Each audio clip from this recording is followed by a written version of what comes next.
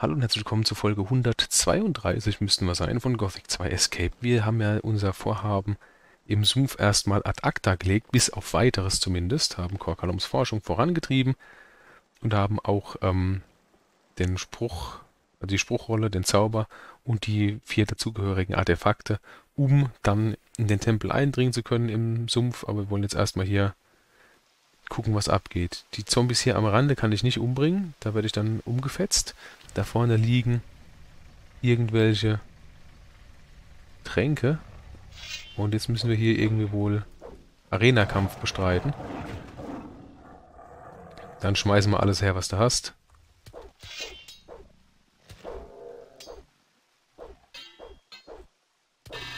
Der Sound ist hier etwas gedämpft. Warum auch immer. Da hat er 3000 DP gibt. Jetzt geht natürlich selbst auf uns los. Der Schattenkrieger.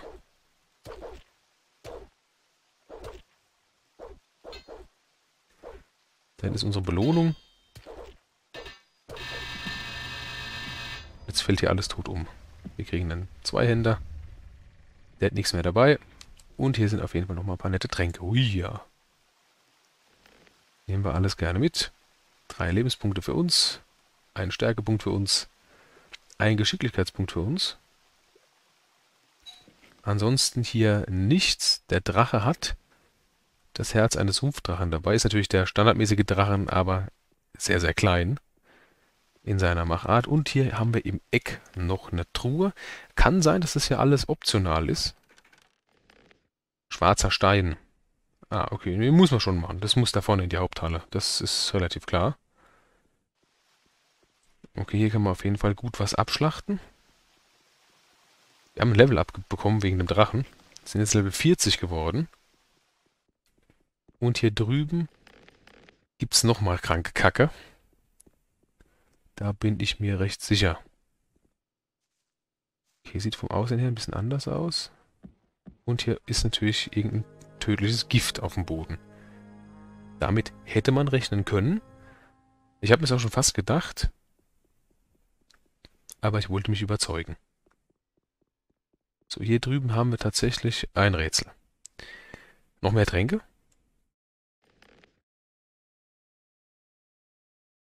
Und den Fluch des Wächters fügt alle Diebesfertigkeiten hinzu für 120 Sekunden. Das liegt vermutlich daran, weil man für die Quest hier genau das benötigt scheinbar, oder für das Rätsel.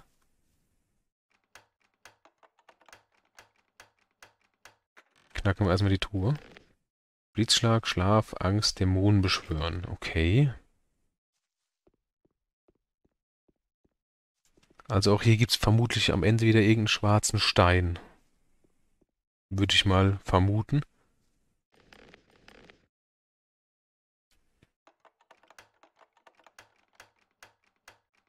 Und mit beiden Dingen kommt man dann hier eventuell voran. Feuerregen, Todeswelle, Armee der Finsternis. Auf jeden Fall geiler Scheiß. Jetzt ist nur die Frage, was können wir hier tun? Ich werde diesen Trank nicht benutzen müssen, außer wir brauchen auch Akrobatik. Oh, ich mache das so ungern, wenn hier so Schalter sind. Eieieiei. Wir speichern mal ab. Sicherheitshalber und dann verausgabe ich mich einfach mal.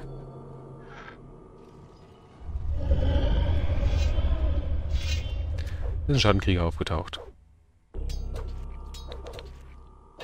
Soweit schon mal ganz nett. 400 EP für uns. Und ein Gegner, der uns nicht das Wasser reichen kann. Mittlerer Schalter. Noch ein Schattenkrieger. Okay. Wir kennen das Ganze. Ich glaube, wir brauchen Akrobatik.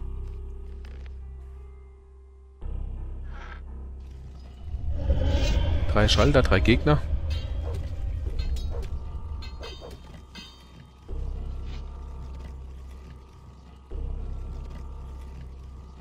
Ja. Ja, ja, ja. Wir brauchen Akrobatik, sonst kommen wir da nicht rüber. Vermute ich mal. Oder doch? Wow. ja, das, äh, so nennt man das Konzept von wegen übers Ziel hinausgeschossen. Ja, und da bin ich jetzt gerade direkt reingeplumpst. Okay, wir müssen den Trank benutzen, aber mein Gott, da ist halt so. Ja. Das war ja fast klar. Das heißt, die ganzen anderen Dinge, die man hier finden durfte, Feuerregen und so weiter, hier ist der blaue Stein. Das war wohl alles einfach nur... Ja. Kann man mitnehmen in diesen zwei Minuten, außer man kann in unserem, wie in unserem Fall das sowieso ohnehin mit den Diebestalenten. Aber mit dem Trank kann man theoretisch alle Truhen öffnen, Feuerregen und so weiter einsacken. Sehr wertvolle Dinge, sehr wertvolle Spruchrollen. Kann man mitnehmen. Das Rätsel ist wohl doch gar nicht so komplex, wie ich im ersten Moment dachte. So, jetzt können wir hier die Steine hinlegen. Mal gucken, was dann passiert.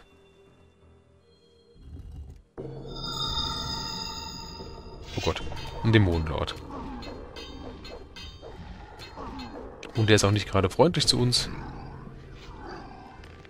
Der hat dabei Bücher und ein Almanach der Macht.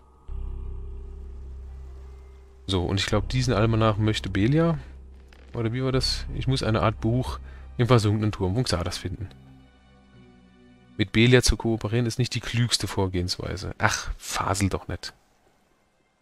Bisher ist die Ausbeute recht gut. Kann ich da reinlesen oder sterbe ich dann? Karakter Kruschak. Das sich Bela bezogen hat. Hier stehen ein paar seltsame Worte. Ja, das ist äh, wohl möglich.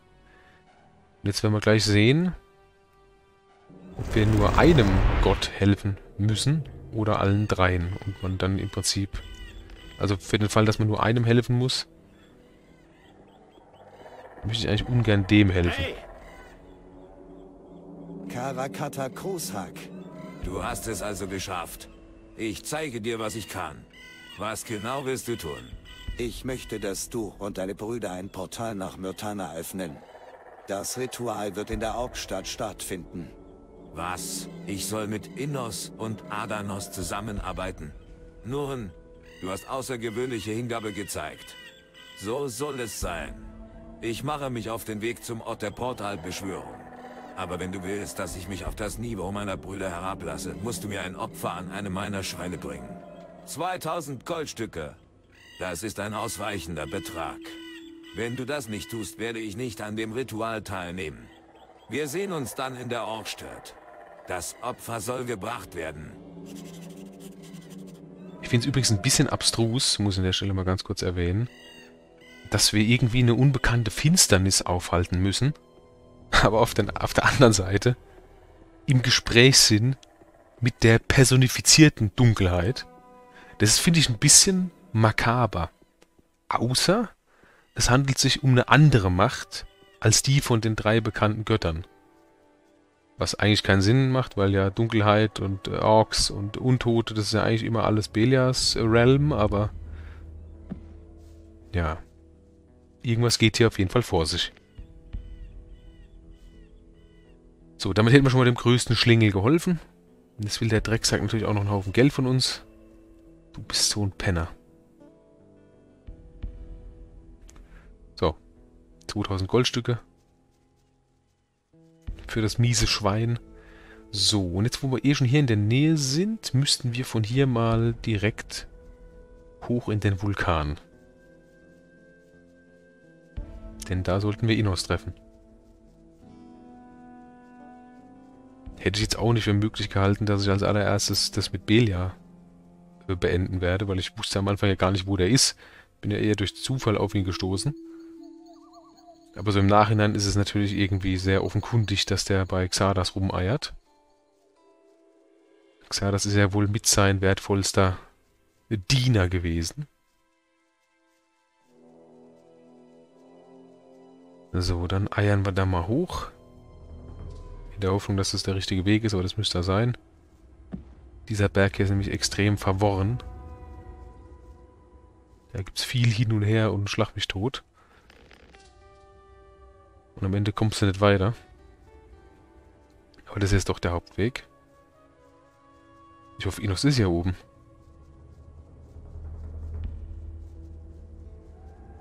Aber ich bin guter Dinge. Das müsste ja mit der wärmste Ort in der Kolonie sein. Mir fiel jetzt keine... Ach, hallo. Keine weitere Magma-Kammer oder so ein. Es könnte sein, dass genau dieses Skelett das eine war, das ich irgendwie gesucht hatte. Und dem ich mir nicht sicher war, wo es hin ist. Inos, bist du's?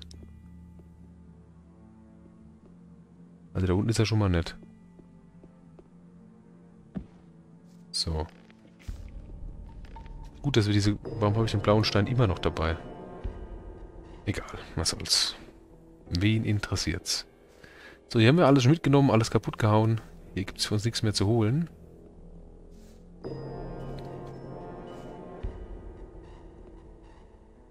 Oh, da geht's tief runter. Und da war tatsächlich jetzt auch auf den ersten Blick ein Innos. Ich überlege gerade, wo könnte es noch warm sein?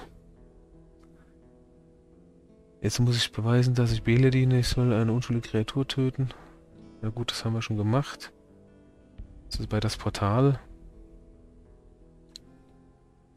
Jeder sollte sich an dem Ort befinden, der ihm am nächsten steht. Inos Feuer, Adanos Wasser oder Oder Eis, ja, und Belia Schwarze Magie. Belia haben wir erledigt. Adanos müsste vermutlich in der Wohnhöhle sein. Hab das jetzt halt so ein bisschen direkt den, den Locations der Drachen zugeordnet. Vielleicht war das aber auch äh, eine Fehlannahme. Das kann natürlich auch sein.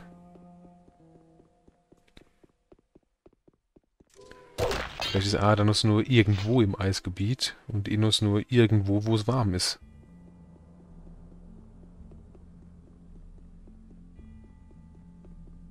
So, kann ich hier irgendwie außen rumlaufen? Ja.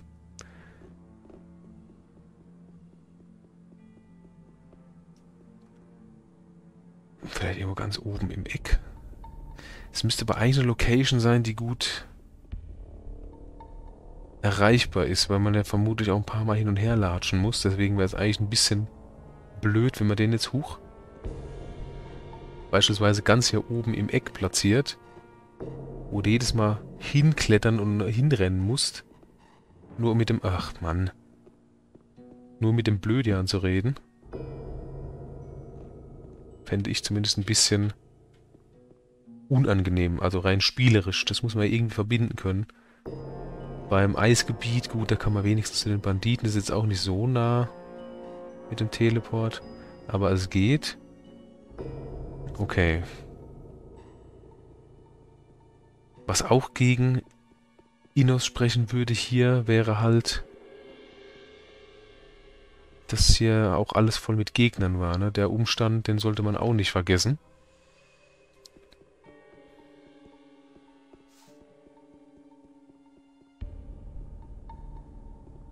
So, hier hinten geht's runter, ne? Ja, genau, ich bin so ein Volldepp. Ah, da ist er Bist doch. du derjenige, der mich beschworen hat? Nein.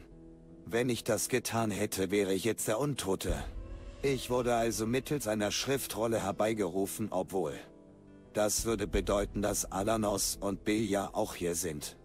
Sag mir, was brauchst du? Ja, wir kommen direkt hier äh, zum Punkt. Inos ist halt ein guter. Ich bin gekommen, um dir meine Dienste anzubieten. Ich weiß es zu schätzen, Sterblicher. Was willst du im Gegenzug von mir? Ich brauche göttliche Hilfe, um ein Portal zu öffnen. Ein Portal? Wohin? Es sind noch Menschen im Minental. Wir müssen irgendwie nach Korinis kommen. Ich werde dir helfen, aber jetzt bist du dran. Du musst etwas für mich tun. Doch zuerst musst du zeigen, dass du mit Feuer umgehen kannst. Bis jetzt bin ich davon nicht überzeugt. Okay. Was gibt's zu tun? Bring mir zehn Zungen von Feuerwaran. Wo kann ich diese Reptilien finden? Aufgrund ihrer feurigen Natur lieben sie Sand- und Meeresküsten. Im Minental gibt es noch solche Orte. Wir kriegen tatsächlich dafür drei Lernpunkte, damit wir das erlernen können, die Fähigkeit, falls wir es noch nicht könnten. Und Ich gehe mal davon aus, dass im Zuge der Quest Feuerwarane gespawnt werden, weil ansonsten kannst du die Quest nicht machen und dementsprechend auch die Hauptquest nicht. Das heißt, irgendwo müssen auch noch 10 Feuerwarane jetzt gespawnt sein. Aber haben wir natürlich alles schon. Hier sind die 10 Zommen.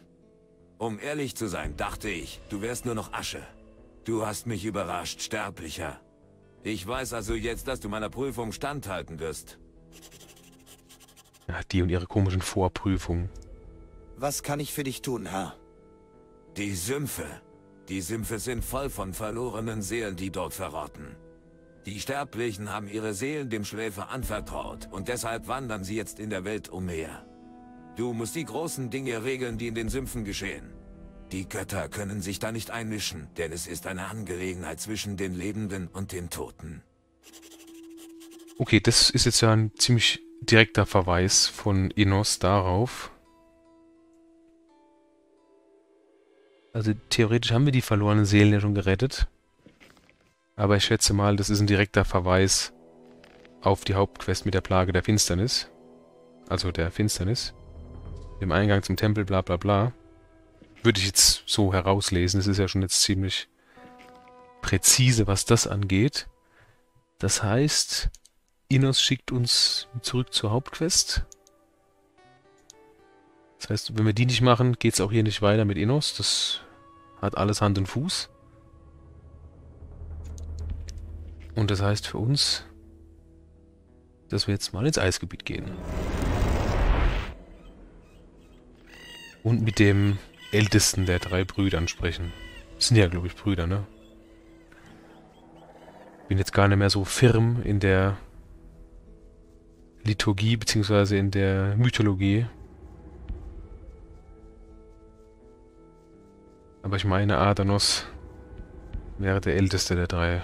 Und die wären halt auch Brüder, ne? Das Verhältnis zueinander. Weil das ist ja bei Göttern ganz oft so, ne? Dass das irgendwie... Dass die familiär irgendwie in einer Verbindung stehen. Macht ja auch Sinn. Da ja fast alle Mythologien Projektionen sind von einem menschlichen Verständnis heraus. Da machen so Familienzugehörigkeit natürlich schon viel Sinn.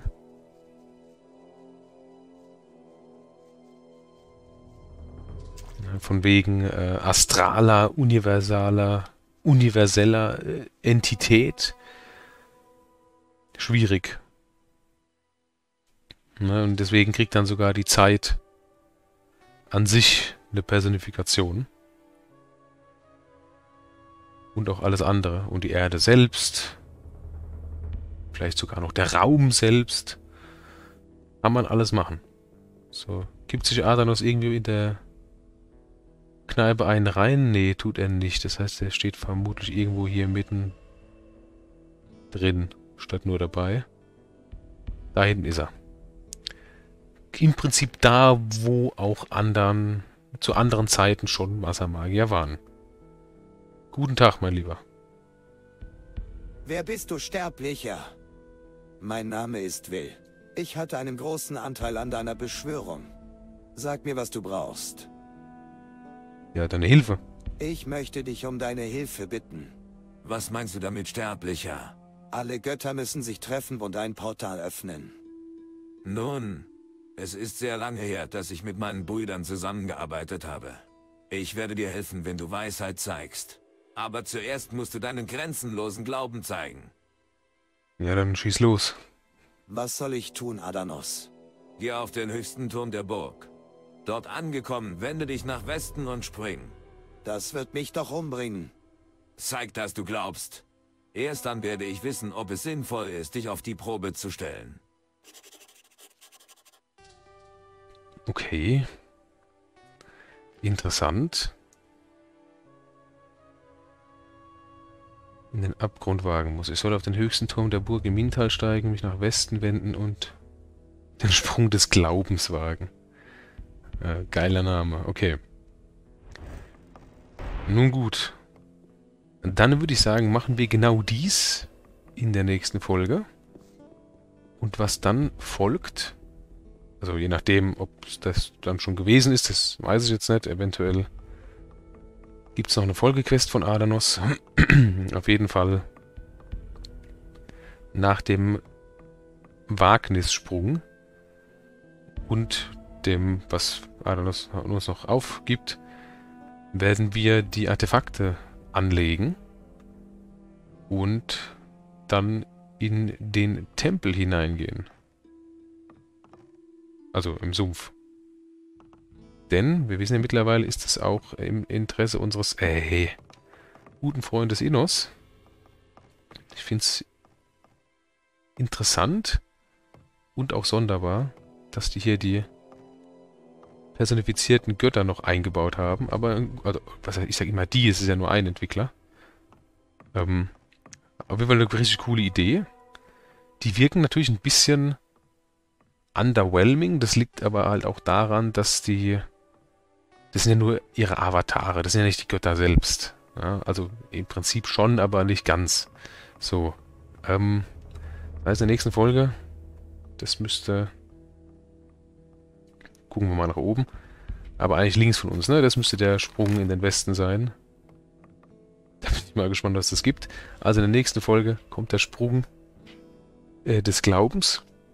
Und dann geht's wieder Richtung Sumpf in absehbarer Zeit. In diesem Sinne sehen wir uns in der nächsten Folge. Bis dahin. Tschüss.